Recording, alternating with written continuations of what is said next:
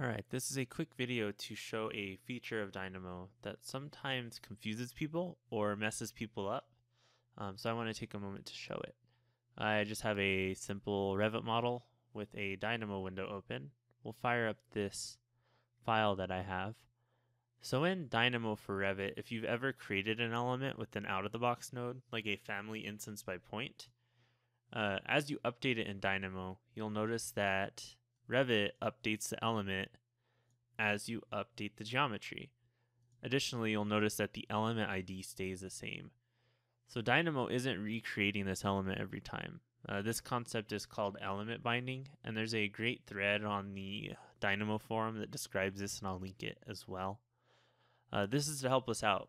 Uh, so if this was not the case, we would create that element every single time we made a change which is not always what we'd want, especially with something like what I'm doing right now.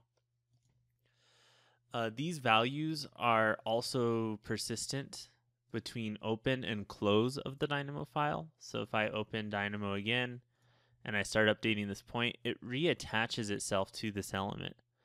Uh, this concept, once again, is referred to as element binding or serializing the values into the Dynamo file. So we can also view this in a Notepad++ editor window. I like to use Notepad++ because it will reload changes as they happen. So if we load this file, this is the Dynamo file, we can see that there's a section called bindings.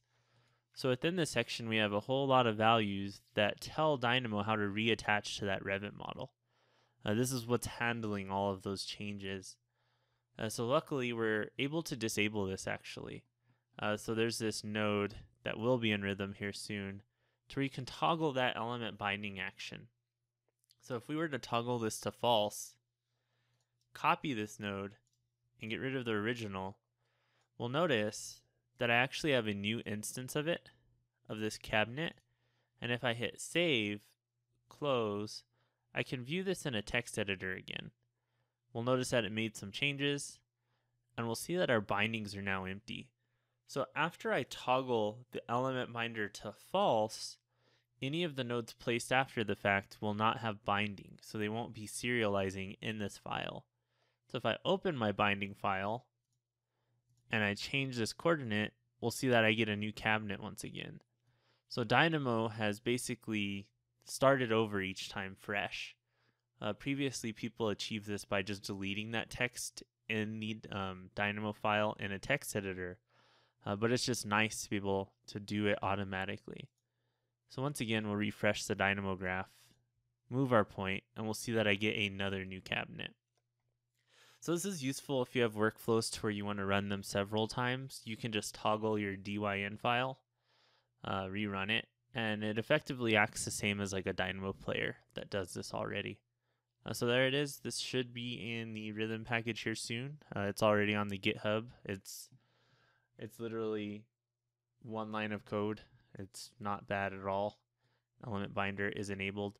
Uh, if you're wondering why this can only be done in a zero touch node or a C sharp node, it's because in the Dynamo source code, when you use Python, they're actually disabling this and re enabling it before the Python node is ran and after. So even if you disable it in Python, it re enables afterwards by nature. That's how the Dynamo engine handles the Python node. Um, that's something that I had to work through and was a little frustrating.